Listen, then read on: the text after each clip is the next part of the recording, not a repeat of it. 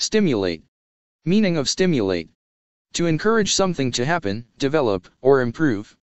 To encourage or help an activity to begin or develop further. Raise levels of physiological or nervous activity in the body or any biological system. Let's see some examples of stimulate.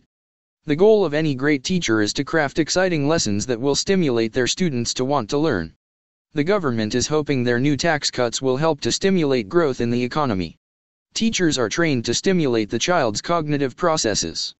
Now we will look at few synonyms of stimulate. Arouse. Encourage.